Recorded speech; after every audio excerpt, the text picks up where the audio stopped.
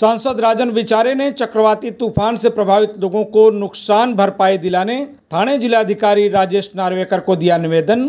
नवी मुंबई थाने और मीरा भाईंदर शहरों के सागरी किनारे इलाकों में हुआ है घरों, फ़सलों और मछुआरों का नुकसान, मुआवजा देने की अपील। कोरोना से जान गंवाने वाले नवी मुंबईकरों को मनपा की एक मुफ़्त अनुदान योजना। घर के कमाऊ पुरुष की मौत पर पत्नी को मिलेगा पच्चीस हज़ार की आर्थिक सहायता। महानगर पालिका आयुक्त अभिजीत बांगर ने की घोषणा। कोरोना से मृत्यु के दो साल के भीतर मनपा को करना होगा आवेदन, लाभ उठाने की अपील। टीवी वन इंडिया की खबर का असर नई मुंबई मनपा ने फिर शुरू किया कोविड की पहली डोज का वैक्सीनेशन। आज शहर के उनतीस ठिकानों पर हो रहा टीकाकरण। 2000 से अधिक लोगों ने लगवाया टीका। कोवैक्सीन और कोविशील्ड की दूसरी डोज का भी हुआ वैक्सीनेशन। बीजेपी युवा नेता निशांत भगत ने उठाया था मुद्दा। राष्ट्रवादी कांग्रेस पार्टी की ओर से वासी के जंबो कोविड केयर सेंटर में बांटे गए ऑक्सीजन कॉन्सेंट्रेटर, जिलाध्यक्ष अशोक गावड़े, प्रदेश उपाध्यक्ष नामदेव भगत समेत कई नेता रहे मौजूद। विधायक रोहित पवार और बारामती एग्रो फ़ूड कंपनी की ओर से कोरोना मरीजों के लिए ऑक्सीजन कॉन्सेंट्रेटर का वितरण, ऑक्सीजन की किल्लत के बीच राहत की मदद।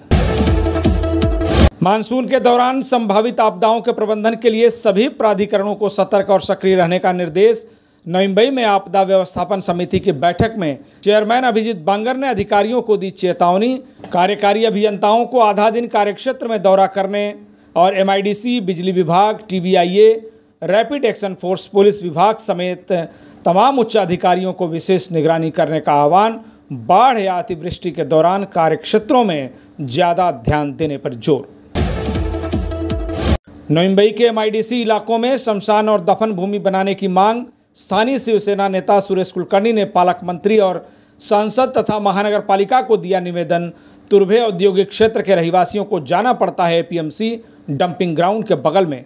दो एकड़ ज़मीन देने और अंत्येष्टि स्थल बनाने पर ज़ोर। महाराष्ट्रियन बिल्डर एसोसिएशन की सिडको से मांग नैना क्षेत्र में बिना शुल्क उपलब्ध कराए नागरिक सेवा सुविधा।